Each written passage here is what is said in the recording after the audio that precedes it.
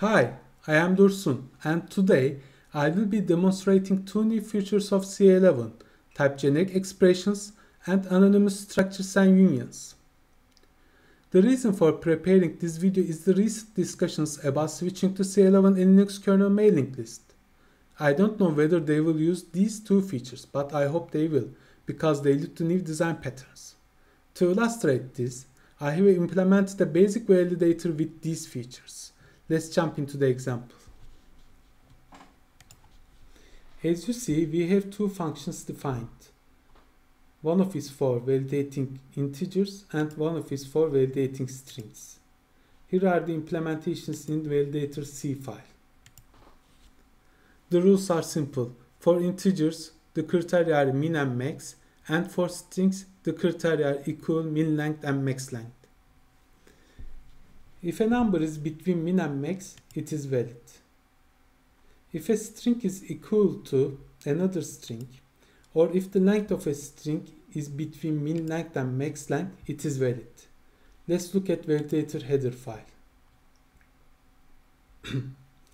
As you see, I use anonymous structures and unions to define criteria. By using this and designated initializers, you can easily define the validator rules. Let's look at main C file for an example. As you see, I defined three rules. Rule in between, rule star equal, and rule star length. And as you see, I use these validators with only one function, which is impossible with earlier C standards. We are able to do this because we are using generic expressions. Let's jump into the validator header file to see how I use generic expressions. And here we are. As you see, I use generic keyword with a define to create a macro.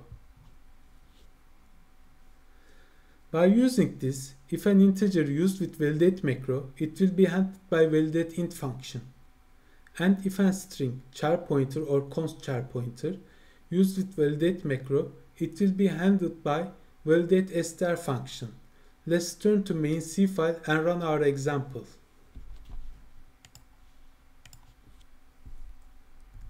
Compile it and running. All are expected results. Alright, the rest is up to you. You can find my source code in video description. Have a good one. Bye.